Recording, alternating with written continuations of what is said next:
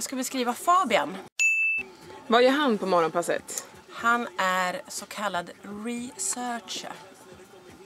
Vad, vad innebär det?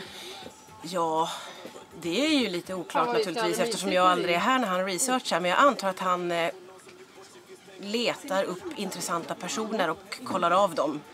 Och ser till att de blir gäster i morgonpasset. Typ så.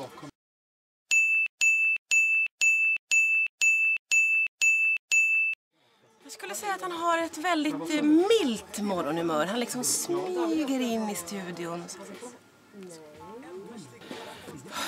Jag tycker han är svår, svårdefinierad som djur.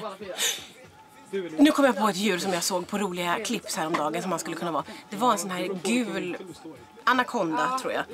Men det speciella var att anakondan kunde sen vika upp sig och öppna dörrar. Och så, fum! Kanske en sån. Och vad skulle han göra om han inte jobbade på morgonpasset? Också svår, svår, svår, svår fråga. Jag tror att han kanske hade haft ett litet eh, bokförlag. Där han hittar speciella personer som har en speciell historia och så sitter han bakom sitt skrivbord och bara kan publicera dig. Och i hemlighet så skriver han på en egen eh, roman.